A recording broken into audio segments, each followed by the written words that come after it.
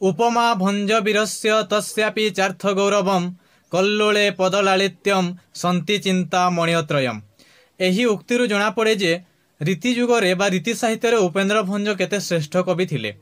କେବଳ ରୀତି ଯୁଗରେ କାହିଁକି ସମଗ୍ର ଓଡ଼ିଆ ସାହିତ୍ୟରେ ସେ ହେଉଛନ୍ତି ଜଣେ ଶ୍ରେଷ୍ଠ ତଥା ଚିରକାଳୀନ ମହାନ ସ୍ରଷ୍ଟା। ସେ ହେଉଛନ୍ତି ଯଥାର୍ଥରେ ଓଡ଼ିଆ ସାହିତ୍ୟର କବି ସମ୍ରାଟ। କେବଳ ଯେ ତାଙ୍କ ପାଣ୍ଡିତ୍ୟ ଏବଂ ମହାନ ସାହିତ୍ୟ ସୃଷ୍ଟି ପାଇଁ ସେ ଓଡ଼ିଆ ସାହିତ୍ୟରେ ଜଣେ ଆଗଧାଡ଼ିର ତଥା ଶ୍ରେଷ୍ଠ ସ୍ଥାନର ଅଧିକାରୀ ତାହା ନୁହେଁ। ସେ ଓଡ଼ିଶାର ଘରେ ଘରେ ପୁରେ ପୁରେ ପରିଚିତ ତଥା ଜନପ୍ରିୟ କବି ମଧ୍ୟ ଅଟନ୍ତି।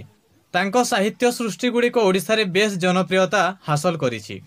ତେଣୁକରି ଉତ୍କଳମଣି ଗୋପବନ୍ଧୁ ଦାସ ମଧ୍ୟ କହିଥିଲେ ଗାଏ ତୁମ୍ଭ ଗୀତ ସଭାରେ ପଣ୍ଡିତ ପଥେ ପାନ୍ଥ ହୃଷ୍ଟ ମନା। ଗାଏ ତୁମ୍ଭ ଗୀତ ସଭାରେ ପଣ୍ଡିତ ପଥେ ପାନ୍ଥ ହୃଷ୍ଟ ମନା। ବିଲେ ବୋଲେ ଚଷା ଅନ୍ତଃ ପୁରେ ବିଲେ ବୋଲେ ଚଷା ଅନ୍ତଃ ପୁରେ ନୃତ୍ୟ ରଙ୍ଗେ ବାରାଙ୍ଗନା। କବି ସମ୍ରାଟ ଉପେନ୍ଦ୍ର ଭଞ୍ଜଙ୍କ ଶ୍ରେଷ୍ଠତା ଏବଂ ଜନପ୍ରିୟତା ଉପରେ ତ କିଛି ଦ୍ୱନ୍ଦ୍ୱ ନାହିଁ କିଛି ସନ୍ଦେହ ନାହିଁ। ତେବେ ଏବେ ଆସିବା ଆଜିର ପ୍ରସଙ୍ଗ ଆଡ଼କୁ। କବି ସମ୍ରାଟ ଉପେନ୍ଦ୍ର ଭଞ୍ଜଙ୍କ ସୃଷ୍ଟି ସମ୍ଭାର। କବି ସମ୍ରାଟ ଉପେନ୍ଦ୍ର ଭଞ୍ଜଙ୍କ ସୃଷ୍ଟି ସମ୍ଭାର ଉପରେ କିନ୍ତୁ ମତଭେଦ ପରିଲକ୍ଷିତ ହୋଇଥାଏ। ଅନେକ ପଣ୍ଡିତ ଅନେକ ସମାଲୋଚକ ତାଙ୍କ କାବ୍ୟକୃତି ତଥା ଗ୍ରନ୍ଥ ସଂଖ୍ୟାକୁ ନେଇ ଭିନ୍ନ ଭିନ୍ନ ମତ ଦେଇଥାନ୍ତି। ଯେପରିକି ଅନନ୍ତ ପଦ୍ମନାଭ ପଟ୍ଟନାୟକଙ୍କ ମତ ଅନୁସାରେ କବି ସମ୍ରାଟ ଉପେନ୍ଦ୍ର ଭଞ୍ଜଙ୍କ ସମୁଦାୟ ଗ୍ରନ୍ଥ ସଂଖ୍ୟା ହେଉଛି ତେସ୍ତର। ଓଡ଼ିଆ ସାହିତ୍ୟର ଇତିହାସ ଗ୍ରନ୍ଥରେ ପଣ୍ଡିତ ସୂର୍ଯ୍ୟନାରାୟଣ ଦାସ ମତ ଦେଇଛନ୍ତି ଯେ କବି ସମ୍ରାଟଙ୍କ ଗ୍ରନ୍ଥ ସଂଖ୍ୟା ହେଉଛି ଏକଚାଳିଶ ଠିକ୍ ସେହିଭଳି କବି ସମ୍ରାଟ ଉପେନ୍ଦ୍ର ଭଞ୍ଜଙ୍କ ଗ୍ରନ୍ଥ ସଂଖ୍ୟା ଚଉତିରିଶ ବୋଲି ମତ ଦେଇଛନ୍ତି ଅଧ୍ୟାପକ ଗୌରୀ କୁମାର ବ୍ରହ୍ମା।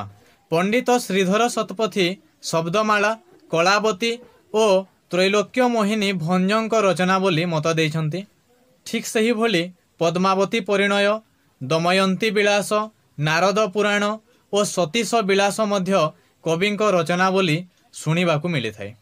ସତ୍ୟନାରାୟଣ ବୁକ୍ଷ୍ଟୋର ଦ୍ୱାରା ପ୍ରକାଶିତ ଅବନା ରସତରଙ୍ଗ ଗ୍ରନ୍ଥରେ ସମ୍ପାଦକ ଡକ୍ଟର ସୁରେନ୍ଦ୍ରନାଥ ପାଣିଗ୍ରାହୀ ଭଞ୍ଜଙ୍କର ପ୍ରାୟ ଅଶୀଟି ଗ୍ରନ୍ଥ ଥିବା କଥା କହିଛନ୍ତି ଏବଂ ତାଙ୍କ ମତରେ ତନ୍ମଧ୍ୟରୁ ସତେଇଶଟି ଗ୍ରନ୍ଥ ପ୍ରକାଶିତ ହୋଇଅଛି। ଏହିଭଳି ଭାବରେ କବି ସମ୍ରାଟ ଉପେନ୍ଦ୍ର ଭଞ୍ଜଙ୍କ ଗ୍ରନ୍ଥ ସଂଖ୍ୟାକୁ ନେଇ ଅନେକ ସମାଲୋଚକ ଅନେକ ପଣ୍ଡିତ ଭିନ୍ନ ଭିନ୍ନ ମତ ଦେଇଥାନ୍ତି।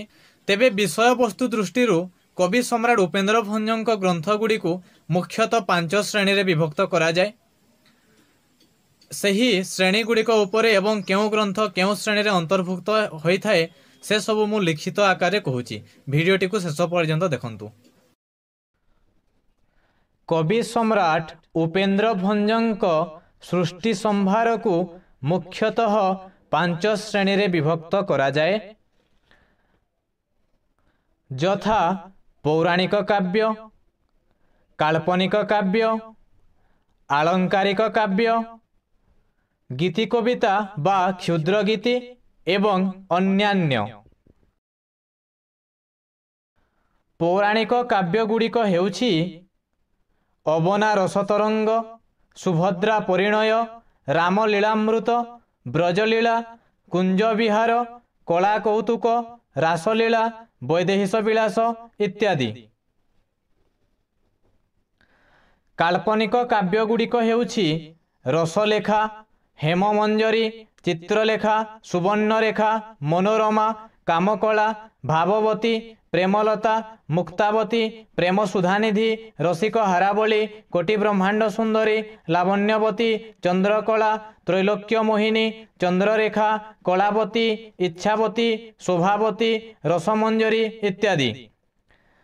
ଆଳଙ୍କାରିକ କାବ୍ୟଗୁଡ଼ିକ ହେଉଛି ରସପଞ୍ଚକ ଚିତ୍ରକାବ୍ୟ ବନ୍ଧୋଦୟ ଛାନ୍ଦଭୂଷଣ ଇତ୍ୟାଦି।